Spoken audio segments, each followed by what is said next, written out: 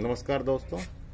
दोस्तों, मेरे पास में काफ़ी टाइम से जो है कमेंट्स में पूछा जा रहा है कि हमारी बाइक का इंजन जो है वो गर्म हो रहा है। इसी चीज़ को लेकर मैंने फ्रेंड्स आपके लिए वीडियो बना रहा हूँ कि आपका बाइक का जो इंजन है वो गर्म क्यों होता है। फ्रेंड्स फोर स्ट्रोक बाइक जो होती है स्प्लेंडर हो या डिलेक्स हो पल्टीना सिटीस हो कोई भी फोर स्ट्रोक बाइक या उसका इंजन जो होता है फ्रेंड्स वो एयर कूलिंग सिस्टम से जुड़ा होता है।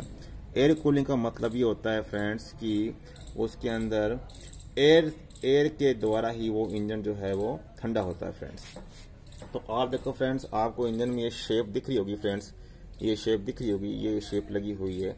ये शेप जो है एयर कूलिंग सिस्टम है फ्रेंड्स हमारा जो ये इंजन होता है फ्रेंड्स, इस इंजन पे जितनी चलती वक्त गाड़ी में एयर लगती है, इंजन उतना ही ज़्यादा ठंडा होता है फ्रेंड्स।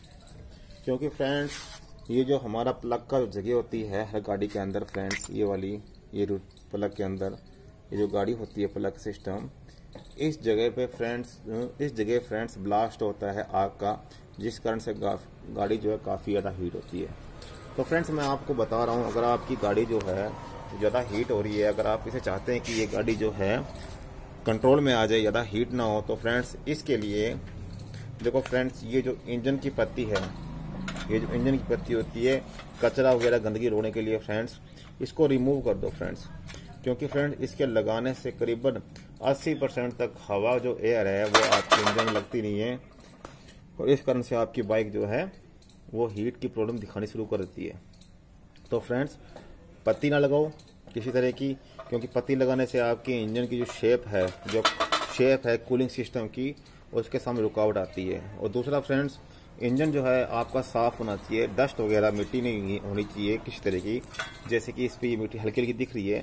इसके अलावा जो भी आपकी ये जो सिस्टम है, जो ये एयर कूलिंग में खांचे दिख रहे हैं आपको फ्रेंड्स ये खांचे हैं, ये खांचे बिल्कुल साफ़ आपके होने चाहिए, ताकि इनमें पूरी हवा लगे और आपका इंजन जल्दी गर्म ना हो। और फ्रेंड्स इसके अलावा एक खास जो इम्पोर्टेंट बात है फ्रेंड्स वो ये कि आपकी जो बाइक है फ्रेंड्स वो उस पर मोबिल मोबिल जो होता है फ्रेंड्स मोबिल मोबिल बिल्कुल भी ना लगाओ फ्रेंड्स मोबिल जो होता है वो बिल्कुल भी लगाओ. फ्रेंड्स मोबिल अगर उस पर लगा होगा तो उसके कारण से आपका बाइक किरा हीट में आएगी फ्रेंड्स और इसके अलावा मोबिल के कारण उस पर जो मिट्टी डस्ट होती है, चिपकती है फ्रेंड्स तो फ्रेंड्स कुल मिला के आपको कहने का मकसद मेरा ये है कि आप जितना भी हो सके फ्रेंड्स इस तरह का जो ये शेप इंजन की पत्ती को स्पोर्ट लगाते हैं या रबड़, या जो रबड़ होता है वो लगाते हैं कोई भी इस तरह से आप कोई सिस्टम अगर रोकते हैं ताकि मिट्टी ना आए तो ये है बहुत ज़्यादा गलत है।